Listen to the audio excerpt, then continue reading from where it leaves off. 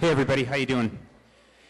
Today we're going to learn a little bit about cities, the kinds of cities that uh, human beings have, have made over time, why they made them, and what that says about them. Hopefully, uh, from this, you'll learn a little bit more about the city you live in. Um, cities are, are actually fairly new. For 98% of the time we've been on Earth, we have not had cities.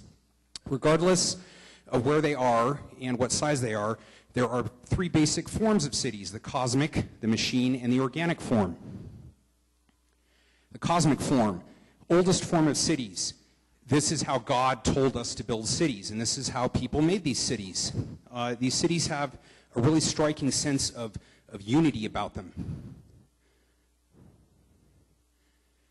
Uh, in the cosmic city, there's a, a, everything is laid out with a purpose. Roads, buildings, streets, everything is laid is there for a very certain purpose. Um, also, these people didn't have access to a lot of power or machinery, so they had to obey the land. Very authoritarian values. You couldn't just go to a city council meeting and complain about too many slaves living in your neighborhood. If you did that, you could be burned for fuel or sacrificed. Way uptight. Travel in the cosmic city. Very difficult, very slow. Your feet and animals' feet. That's it everything had to be extremely close together. So the form of transportation determined the built form of the city. And it does that with every city. I would say the best example of a cosmic city in the United States would be Washington, D.C. It's very cosmic in its layout and its aspirations. Its content, though, is very secular, which is unusual. The Machine City, this is what people, this is what Hollywood wants to show you when they want to show a messed up city. When they want to show a nice city, they have a subtitled foreign movie.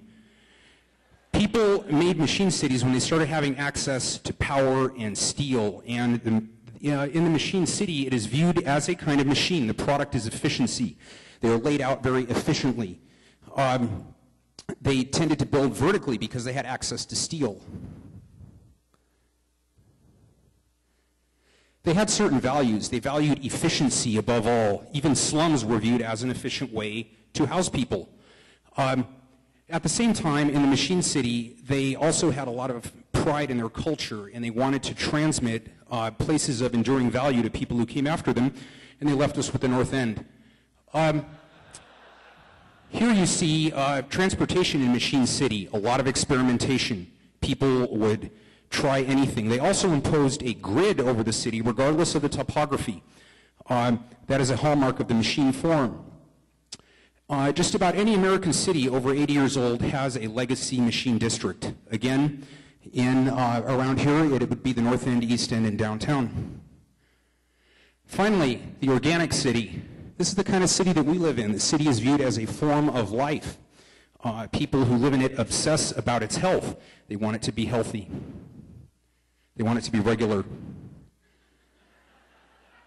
In the organic city, it sprawls, takes up a lot of room. There is a form of spatially based social engineering called zoning. If you are a single family, you live in one place. If you're a single person, you should live somewhere else. If, well, look at all those happy people. They live in an organic city. In fact, that is the chief value in the organic city is happiness. The leaders of the organic city are judged based on their ability to reconcile quality of life, economic development, and environmental preservation. Transportation in the organic city, 95% automobile. Main problem with automobiles is they consume up a lot of space. It tends to push the city outward, and it consumes all of the available public realm. What public realm does exist is in the form of landscaping or natural features. It is the natural features that give the organic city its sense of place, not so much what people make. Because if you look at what people make, they don't like looking at it. Um, critics of the organic city note that we don't like to paint pictures of them, we don't like to take pictures of them. Uh, it's as though we have created a place we do not like to look at. I would argue that any free society with our level of wealth and resources will, however, eventually become an organic form. Uh, the organic city really doesn't have places of stunning beauty or stunning misery. It charts a middle course. Um, I think it's fascinating how all these changes in cities parallel changes that were going on in religion, art, politics, science, medicine, food, clothing, families. I think it would be neat to sit around and talk about how all these things tie together. Thank you.